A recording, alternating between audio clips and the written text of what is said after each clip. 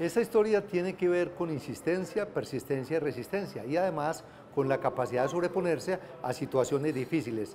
Doña Rosa, de los 5 a los 15 años, vivió en un orfanato y hoy tiene una empresa muy linda por todo el país.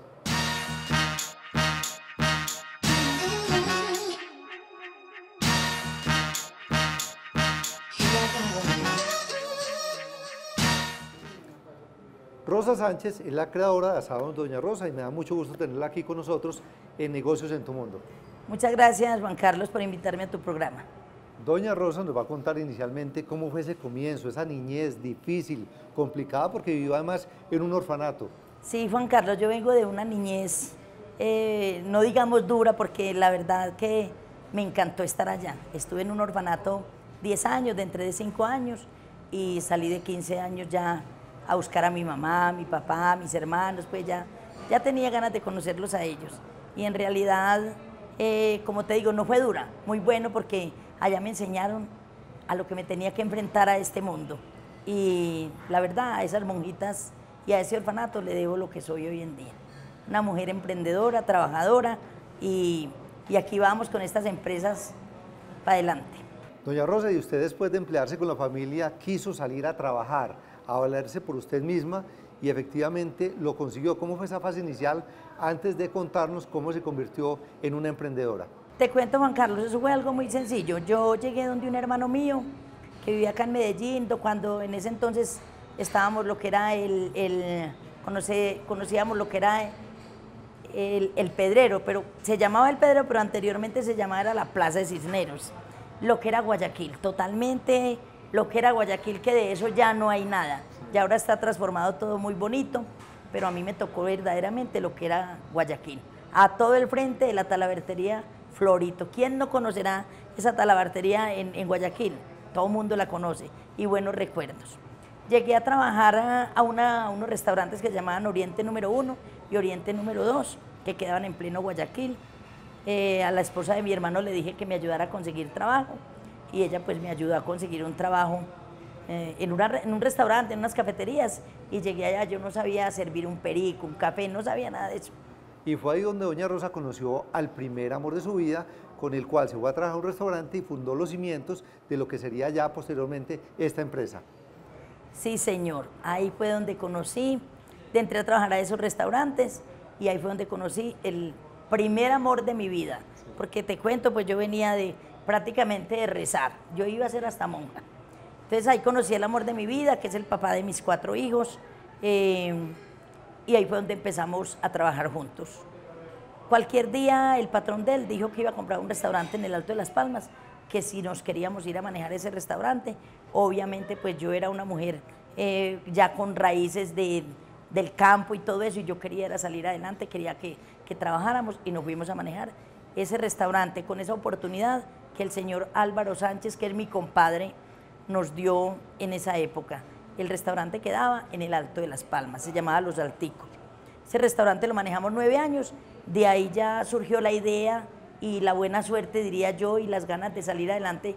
Conseguimos un lotecito y ahí fue donde un día iríamos a construir lo que hoy se llama Asado Doña Rosa. Y aunque arrancan con pie derecho con el tema de Doña Rosa, llega un obstáculo, el primero grande, que es la construcción de una doble calzada. Y les llega el anuncio de que se tienen que ir de ahí. Primera dificultad grande. Bueno, yo creo que ya llevamos 19 años en este restaurante en Asados Doña Rosa. Y llega una vez en el colombiano, en primera página, asado, doble calzada, acabará con Asados Doña Rosa. Eso para mí fue un trauma, pues, una dificultad grandísima.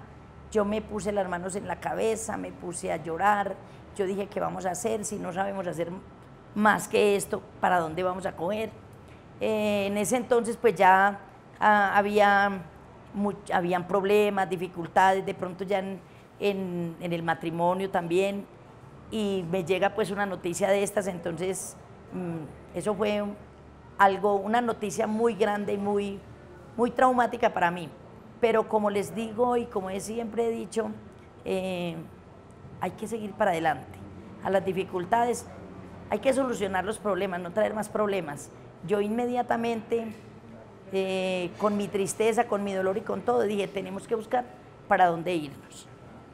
Ya para ese, en esa época ya, ya estaba la separación de mi esposo y, mi persona, ya, eso ya estaba anunciado, ya estábamos separados.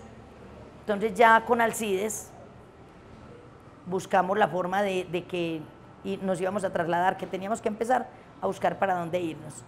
Entonces ya nos fuimos para el Peñasco y allá fue donde montamos Asado Doña Rosa de nuevo. Y seguimos para adelante trabajando normal con Asado Doña Rosa. Y ya más adelante te cuento pues eh, otra historia que nos pasó estando en el Peñasco. Dijimos, tenemos que comprar un lote para hacer Asado Doña Rosa, porque lo teníamos muy claro, que no podíamos dejar las palmas. Entonces ahí más abajito del peñasco había un aviso que decía, se vende. Entonces Alcides se metió para ese potrero y yo le decía, vos es que te estás embobando, te estás enloqueciendo que pensás que en ese morro vamos a montar asado Doña Rosa. Y dijo, deje y verá que aquí vamos a montar asado Doña Rosa. Y fue otro sueño hecho realidad. Y de la mano de Alcides empezó una nueva etapa de mucha expansión, ya hoy son 10 puntos en diferentes ciudades del país y más de 300 empleados una época bonita de oro que aún hoy se mantiene. Sí, como te cuento, en compañía de Alcides pues ya seguimos adelante, conseguimos ese lote ahí, empezamos a hacer asado Doña Rosa, que es el restaurante que hay en este momento en Las Palmas.